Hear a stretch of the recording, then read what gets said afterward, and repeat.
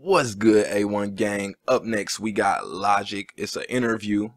Y'all know I seen this, had to snatch it ASAP and get it up for y'all. But in this interview, it say he's talking about uh, YS4, One Day, a music video, immigration, Trump, Kanye, and more. So without further ado, hit that subscribe button. If you know how, share this to the Logic subreddit. Let's go.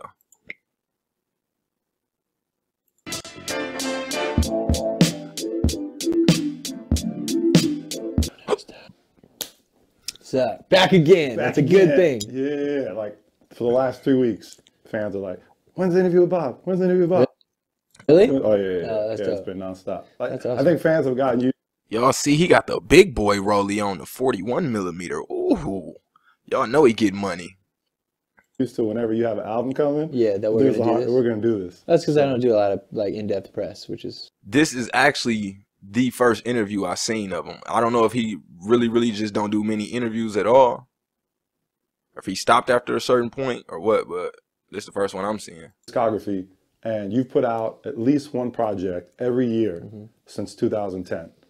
What keeps that fire in you to want to do that? Because I feel like if you look at a lot of artists' careers, there's usually like one, two, three years at some point in the career where they take a break and they kind of reassess things. But for you, it's been nonstop. Where does that feel come from?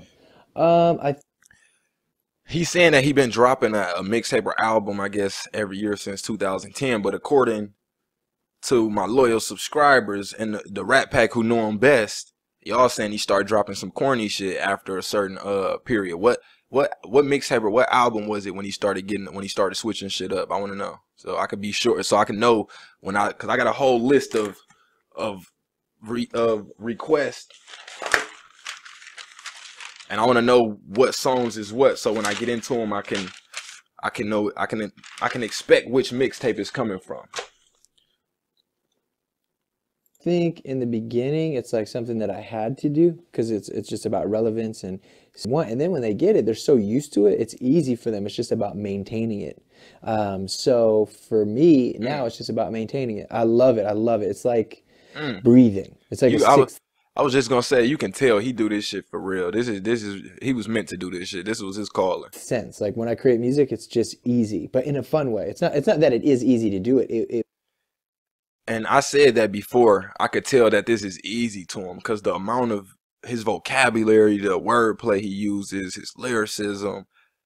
People ain't putting that much energy into rapping if that shit hard to him. I can't picture motherfucking um Soulja Boy dropping some shit on Logic level. It's not gonna happen just because it's not that easy to Soulja Boy. Trust me, if Soulja Boy could rap this type of shit, I'm sure he probably would at least some shit we'd have heard some bars on a, on a different level on this level at least before but we haven't so the fact that he doing this shit and just do it every damn near song i hear even if i don't like the song it'd be still some bars in there where I'd be like shit this psh. so shout out to logic man took forever to be able to get to a place where I could just walk in a To keep it a secret for your fans. but Yeah, What I- does it mean to, at this point in your career, come out with a, another Young Sinatra tape? Um, I think it's dope because uh, as a commercial now mainstream artist, I feel very proud in knowing that like I'm dropping a boom bap hip hop album. There's not really too many people doing that, but especially this way, like very 90s. Not not just like oh oh this is some dope hip hop shit over some hip hop drums, but this is like a straight up boom bap album on this scale. drop in the comment section if you know what boom bap album means i'm assuming like he said some 90s type of shit with 90s drums and probably instrumentals but i'm not 100% sure if that's what it is so let me know Um, it's it means it's just makes me really happy, and I and I I f- I'm proud to do it. After the success of 1 800, I think it could have been easy for you to put out a project with a bunch of radio smashes. Yeah, But instead, you put out, you know, Bobby Tarantino, yeah. and then now you're putting out the, the Young Sinatra. Why is it important for you to do that instead of ride the wave of like, oh, I got radio hits. Oh, let me just put out a bunch of radio hits because that, that's what a lot of people would do. Good Yeah, but that I'm already a millionaire. Like not to sound no type of way, but it's like like I used to think that oh, if I get a radio hit, it's gonna make me millions of dollars. Like yeah, one eight hundred went five times platinum, and I made a lot of money, but I made way more money from signing. You know, What, what I never see out of all the songs y'all done requested me over probably like I want to say like 60 different Logic songs. Not one of them was this song that's five times platinum. Or at least I don't know it. I didn't ever I don't got on my list a one eight hundred song and I've been writing down every request. So what do y'all think about that? Is that one of the the corny songs that y'all said y'all didn't like? Let me know. you know, long-term tour deals and merchandise deals and whatever the fuck. And then you drop the return, and everybody's like, "Oh, he's back." Oh, it's uh, and it's just like this is me. This is what I do. There, it's not like any real fan of mine knows. Like there are different levels of the music that I make. You know, it just it, it's just that's what it is. Like, and if you don't like, if you love boom bap shit, we'll just shut the fuck up. I spoke on that before too. I can't. It was one of my last reactions I did. If you know, drop it in the comments. But he he said a bar where he's like, even though I'm moving on, my fans know, or even though I'm moving on or something, even though I'm no longer here or some shit like that. But he was talking about moving on, going mainstream and shit. He was saying my fans still know that the bar is gonna be filled with lyrics or some shit. He was saying like that. So I respect him for what he's saying because it's not like, like I, I know y'all saying he dropped a lot of corny shit, but it sounds like he's very calculated. You know what I'm saying? It don't sound like he's just doing shit and just like he just he's been rapping and just turned corny. I think he was trying to be strategic and he had some type of idea in his head that he was trying to move forward with so that he can probably broaden his fan base. And you know, maybe just the OG fans didn't take to it as good as the new fans. But I think like what he's saying is some truth to it. He making music on different levels for like, you know, probably different groups of people. Cause think about it even his the shit that even the shit I heard that I didn't like, he still has some bars in that shit. You can't lie. It just probably wasn't as player and cool as the other shit, but you know, shit, you can't put out everything just a hundred percent, uh, ten out of ten, everything just what each fan like. It ain't gonna be like that. Some fans gonna like certain shit, some fans not. You know what I'm saying? and enjoy this album. And you might not like my next album after this. You might not like the one after that. But you know, there's still always going to be real raps, real lyricism, Exactly. real cadences, real flows. And but bro, I can't tell you how many people I meet that are like, "Yo, your Bobby Tarantino shit, that's the best shit you've ever done. Period. It's the best shit you've ever done. It's my favorite shit." Okay, cool. What am I supposed to fucking just make a bunch of Bobby Tarantinos for you? Meanwhile, you have a whole group of people over here who's like, "No, no, no, no." Incredible true story. When you do the space type shit and you're on that, that See, and that that you know hits on what I just said. You know, different people gonna like different shit. You know, you can't expect to like every single thing. Everything ain't for everybody. But I got a list right here of uh Bobby Tarantino one and uh two requests that y'all gave me. So far I got from Tarantino one, I got uh Flexecution, The Jam, Risk featuring Pusha T, Slave One, Slave Two, uh Bobby Tarantino two, I got Yuck, Indica Badu featuring Wiz Khalifa, Midnight, Warm It Up, and 44 more. So if y'all want me to get to some other tracks off either one of those, make sure y'all drop it in the comment section and let me know which mixtape it's from so I can be sure I get to it. that is the best. Like you have to do that forever, or I'm not a fan anymore. Like it's like okay, and then there's others, different sides of me. Um, just like with the mixtapes, because back in the day Big on the mixtapes, people are like you're trying to do too much. They're like, oh, you got this, you got this trap song, you got this song that sounds like Drake, then you got this that's like some Nas shit, then you got this, like you pick one, bro, pick one. And I was like, no, I'm not gonna pick one. Only back then I didn't have the platform that I do now because I stood while other people were like, you gotta pick one, can't do this, can't do that, can't do this, can't do that. I was like, nah, fuck that. I'm gonna Mm. He very it, calculated. whatever I want. And by doing that, I created Bobby Tarantino. I created Young Sinatra. I created, you know, these uh, different facets of myself on a project. And when when I say Young Sinatra, you know what you're gonna get. When I say Bobby Tarantino, you know what you're gonna get. And it's funny because when it's just on some logic shit, like you don't know what you're gonna get. I don't know the difference. I, I don't know the difference. Break that down to me. Somebody who really understands this shit. What's the difference between a Young Sinatra uh tape and a Bobby Tarantino tape? Like think about what he just said. He said, you know, if I say Young Sinatra, you know you're gonna get that. If I say Bobby Tarantino, you know you're gonna get that. What's the difference between the two? Let me know.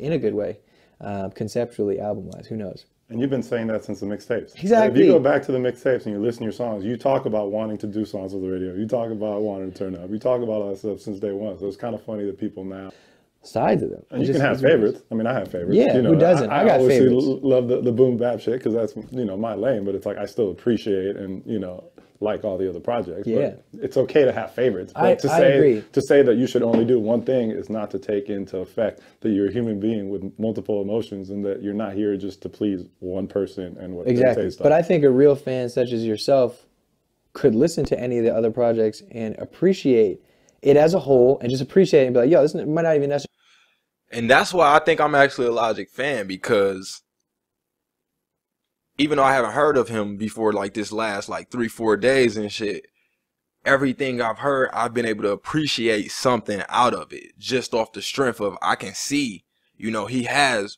multiple layers to him. You know, some shit just maybe I'm not rocking with it as much as the other shit, but like I said, even if I don't like the beat selection or whatever it is, even though I don't like the like the song he's making, he still be having bars and shit in there where I still be like, you can check the reaction. I'm like, all right, I don't like this, but this shit still, he just said some cold ass shit though, you know. So he he he's speaking the truth. It'd be my favorite album, but yo, I think this is your most impactful album or your most message driven album and you know, I and the most successful album that I've ever done. So it just these are things that don't make sense. It's the same shit with like Drake. Like every time Drake drops an album, you know, you have a whole bunch of people that's like, oh, you know, the old Drake or the album before this or Kanye or whatever. But it's like these motherfuckers still selling hella albums. So why are you buying them? Why are you listening to it? Why are you this or that if you don't really love it or like it or want to be a part of it or yeah, but it's okay to have favorites. Everybody does. I do. I have my favorite Kanye album's graduation. You know? mine's called I'm trying to see what what's on his hat. Dropout. Yeah, my favorite Drake album's probably Nothing Was the Same, and then I really love If You're Reading This. Drake ones are hard because I feel like it, it's really a mood. Like depending what mood Yeah, you're you're on, right. it's But like, that's oh, another thing right there. What mo- like wow, we're talking about an artist who can give us music for every mood there, that you could possibly be in. That's incredible. And people hate, so but it don't matter. To me, the best way to hate is not talk about something. So it's like, Yeah. it's like why? Yeah, if you're time? sane, Yeah. if you're a human being. I don't understand how you can actually hate on Logic. Like, what the fuck is it to hate? I can't even think of shit to hate about the nigga. being you know you got walking youtube comments the reason why this album is so special and the people love it and what i've released and what they'll hear so much is because i made them wait for it because if i did boom bap album after boom bap album after boom bap boom bap boom bap boom bap it would just it, it'd be the same shit. It's like if i did a million trap albums Right. you know or if i did a million these albums or that albums or whatever. That like make a lot you look at my discography and it's like a roller coaster uh, like constantly going you know upward in a trajectory of you know creativity. And that's the thing i love about it so much. And that's why this conceptual albums and this shit was just like oh i just gotta rap. All right that's easy. That's what i do Now I'm curious what the fans are gonna say. It's like, I want the whole logic back. I want the whole logic back. Now I get the boom bap stuff. I'm like, what's next? yeah but they'll probably say like i even seen a couple things where it's like oh he's he's referencing too hard the original young sinatra's too much and the Like, yeah but, uh, And see, I spoke on that before. Like, I didn't know he does that. I, I I didn't know what to call that. I was saying like he was releasing little snippets of other tracks inside songs. I started to notice as I listened to more. But like he said, what did you just call that? Uh, they're gonna love it regardless like that's what's so awesome about it what I love about the album is that you do reference Yeah. a lot. yeah, that's what he said. He references certain tracks in other songs, and that should be dope. Cause once you hear like I heard the Dead Presidents first, but then I heard another track that was before that where he had the he referenced the Dead Presidents instrumental in there. I'm like, oh, that shit was fire. Especially if I'd have heard that one first and then would have heard the Dead Presidents, that shit would have been fire. a lot of tracks. Going into this project, do you sit down with 6ix? Do you talk about, hey, we want to have a bunch of like soulful samples in there, or like, did you talk about kind of like a vision, or is it like? No, we by just say boom bap, and it's known what that means. You know what I mean? So, like, for example, like I do reference older mixtapes and projects, even bring certain like punchlines and things back intentionally. You should be like excited that you're a fan and you know that thing. You're. It's a like, wow, I treasure know hunt exactly. me. It's yeah. like, oh shit, this is Young Sinatra. This is undeniable. This Yeah. is you know, Dear Yeah. God. This is you know, whatever the references are. So the first song you released for Young Sinatra 4 Yeah. is One Day. yes. Why was that the one that you wanted to put out first? Uh, because it's the most positive. You know, um, to me, that's like the quintessential young Sinatra, like happy vibe, like dope, like yeah, I've got those. There was a lot of fans who felt that vibe as well. Uh, I want to represent the message in this album. Um, it would definitely be that song. You know, maybe one day I'll I'll be wiser. I'll make it. I'll do it. I'll get there. It's that simple. How did you and Ryan uh, Tedder link? It's really dope. I've never worked with a writer before, ever. Um, like never ever, uh, really. I've had writers who were singers who kind of like fucked around with like vocals and harmonies and stuff, but never had anybody write a hook. And we just sat down and vibed, and I played him a bunch of the different albums that I had, and he really liked the more boom bap shit. And I was like, oh man, we should we should do something cool. We just wrote it. It was like super quick, and he came with the hook, and 6ix was there, and we all produced everything, and Kevin on the keys, and it was a good vibe. It, it was very it was very fast. It was to the point, and uh, You heard him say we all produced it. That mean they all finna split them points up. Everybody finna eat off that track. um, I'm not even kidding. It was like 20 minutes. Why Yeah. was that important to you? It was just important because I think that all people deserve to be treated kindly and, and with respect and with love. And regardless of what like anybody could think, like, oh, Trump this and that and America, whatever the fuck, it was like, look, man, like I have so many people in the Latin community in my life that I love and I see how this affects them, their families, like all this shit. And sure, there's people talking about it, but I was like, man, I'm gonna do a music video about it and I'm gonna really like drive it home. Um, and I think, you know, the statement is well, but the fucked up part is nobody wants to hear it. Well, I, I wouldn't say nobody wants to hear it. As, No, as I'm talking first about, like- immigrant, yeah, no. like, when you put that out, I was like, yeah, 100%. this speaks to But it's a prime example of like the music industry. It's a prime example of like just what people want or like, you know what I mean? Kind of like want or don't want. I'm glad I did it. I stood up and said, hey, you know, this is fucked up and, th- you know, this is what I think is, is going on and I want to stand behind this and, and, and say And that's what's up. I, I appreciate you know him on the on the level he's at his using his platform to speak on social injustices like that because it's a lot of artists.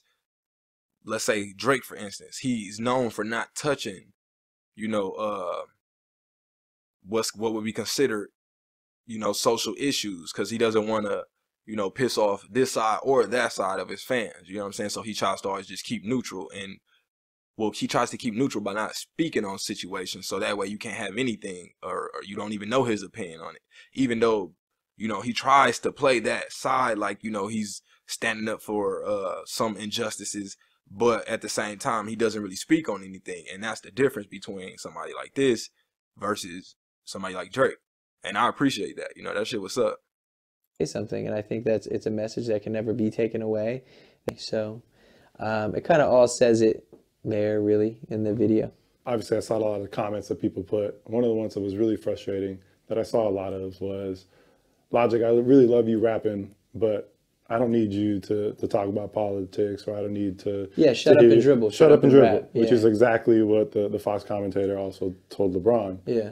What's your response to uh, I, I don't even want to call them fans because I feel like if you're a fan, you appreciate even if you disagree full- with someone Right. so you don't have to do it. The truth is is if i if i was on some kanye shit and i mean that very respectfully if i was on some kanye shit and i was wearing a fucking make america great again hat and you know did a video that was like support the fucking wall then that person would not be telling me don't talk about politics. They'd be like yeah because i'm talking i'm supporting the politics they like clearly like what I said, it's always, you know, a left and a right side to everything. You know, if you speaking up for one side, the other side most likely is gonna be upset. And it shouldn't even be like that because like he's a fucking rapper. Why the fuck are you upset about his uh so political views? Like just because he rap, he shouldn't be able to speak on what he feel on. He shouldn't be able to speak on how he feels about what's going on in the world. What kind of shit is that? So it's it's it's just bullshit, like you know. But for me, it, do, it really doesn't matter. Like it was, it, it's it's. I don't really care what people are saying about me. It's more hurtful what they were saying. You know, like using using code words uh, for racism, like illegals. Like get those illegals out of here. But it's like we know the fuck you mean when you say that shit. Um, but it's just funny to me to be like, oh, I'm never listening to your music ever again. Like you know, you, you lost me with this. You lost it. Like it's over. Blah blah blah.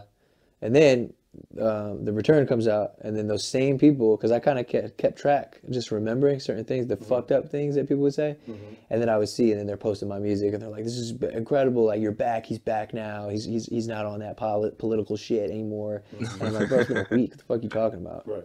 If somebody supports Trump, okay, and you can feel different, anybody can feel different. We all feel different about this shit. If somebody who supports Trump, you know, like loves the same video games I like, and the same kind of music and the same kind of places to hang out and vibes and this and all this other shit, but they support Trump, I will still be their friend. I will still be your friend, and I will respectfully be like, "Yo, I just don't want to talk about Trump shit, dog." You know what I mean? It doesn't mean that that person's a fucking racist. I, I know I know people, some of my best friends' parents, okay, who uh, voted for Trump, and I'm kind of like, how the fuck could you, a person of color, mm-hmm. how could they? da, da?" And they're like, "Yo, money, man, like money, tax cuts, this, that." I'm taxed 55 percent, which is insane. Okay, Shit. so it's like if I made thirty million dollars last year, bro, do you know how much money that is that goes to the government? Like that, it- it's, it's really insane. So it's almost in my favor, but I, am not, I'm not with that shit. But to me, like, it, it's it's almost like the whole Christian Muslim thing. It's like Allah, God, Jesus, whatever. It's crazy that somebody could want to, on both sides, kill the other person. You both have families. You both have, uh, you know, wives and daughters and sons, and you both like music. You both like sports. You both like all these things. But there's like no, like you will want to murder the other person, or be like fuck them, or not even let them into your life. Not even have conversations with that person because of their beliefs. And I also talked about Kanye. I said how I felt about Kanye and how I was like, what the fuck, Kanye? Like you, you're not gonna talk. You're not gonna stand up and say nothing about what's going on in this country. And I got heat for that. People were like, "Oh, you talking shit about Kanye?" I was like, "No, I wasn't talking about shit about Kanye. I was saying, man, you need to stand up." Then Kanye want to come out, you know, with the "Make America Great Again" hat and all this other shit, and then everybody's like, "Oh yeah, fuck Kanye," like it's a cool thing. And then I'm on my Twitter talking about artists I love, and I'm like, "Man, I love Kanye. I love his music." And the people are like, "Yo, you wrong for that. Ain't it, Chief?" Or whatever the fuck. They're like, "You talking? You talking about you love Kanye, man? Fuck you, man." And I'm like, "What?" I'm like last year, I, I, I, it's not even that I called Kanye out. I was just like, all right, well, Kanye ain't saying shit. Like, like I watched when I was 15 years old and fucking Hurricane Katrina, and I was inspired by Ye. So you know what? I'm gonna be the one to say it. I don't fuck with what's going on in the world, and then people want to like trip on me, like, oh, how dare you say that about him? Then he wants to come out and you know support Trump, and then everybody wants to shit on Kanye, and then I show Kanye love because no matter how I feel about him, I still think he's a fucking genius musically. He's amazing and I will continue to shout him out. You know, when I say I like Kanye, what I really mean to say is his music has inspired me to do this, but I don't necessarily agree with his. yeah, but you can't. It's either one or the other. To, in today, Right. it's either you fuck with him or you Right. don't. It's like to say you fuck with his music means you fuck with his political views. Means you, and it's just like that's not true, man. I'll do a podcast when I'm older and just don't give a fuck anymore. Like truly, when I'm in like my like 40s, 50s, and I'm good, I still got a lot of life to live, a lot of shit going on, and things to do. I'm gonna have a podcast, talk show, something, and I'm gonna say the most reckless, wild shit. But I'm gonna say it in a way that can be uh, argued and and whatever, but in a in a peaceful way. You know what I mean? Like the fact that I say I don't fuck with Trump. There's a million Drop in the comment section if you're gonna be waiting for that podcast. Let me know right now. Kids right now in this shit, like, well, Trump and blah blah blah, and it's just like, damn, it's crazy that I can't just say I don't like Trump. Like, fuck, like, but th- imagine the other shit that I want to say. So I'm seeing it in sports the most right now, where it's for a long time, people kind of took the, the Michael Jordan approach, which was, hey, Republicans buy shoes, Democrats buy shoes. I'm not going to say anything to offend either. I'm just going to kind of keep it, you know, a certain way. And now, The headlines for the one day video where Logic lashes back at Trump for, and it's like, no, I, I didn't do any of that. And, and for me, it's not. It's less about immigration. It's just more about humanity. Like really, it's like He I just out at him. That's what the I did. Logic motherfucking talks media about what's for you. going on in, uh, regarding immigration, or you know, Logic discusses what's going on uh, in humanity today. Like, but clickbait and all this other shit. So if I if I talked more freely and said the shit I really felt deep down, like really fucking felt, and I didn't PC politically correctly say it the exact way, I'd be ripped and t- torn apart. That's why I don't do interviews because people take the context away. on purpose. They mm. do it on purpose, bro. There, there's a publication, and I won't say who it is because I don't want to give them fucking credit. you know who it is. There's a publication that I blocked on my social media because all they would do is post bullshit about me and where I'm from. Right. And then this source doesn't even do their own. It wasn't an interview with them. They took somebody else's interview, posted on their shit, and the headline was "Logic says he's bigger than Wale." Wow. And then I on Twitter was like, Damn. hey, like I didn't say that. That's not what I said. What I was like, and I never hit up publications this that. I was like, I never said this. Like why? And I literally remember using an f bomb somewhere. I was like, why in the fuck would you say this? Blah blah blah. They uh, retweet me, quote the tweet at Wale and go, oh, they're- like basically trying to insinuate beef between me and Wale live in real time, and they're joking and laughing about it. And I was like, that's that's super crazy. Why would you talk shit as a publication? I remember uh, Noisy and Vice said some shit about me. Uh, I heard about it, I didn't even see it, um, but they my boys had told me that they were just making fun of me. And I love Noisy and Vice. Like I, I think a personal stance and letting that person represent your entire company.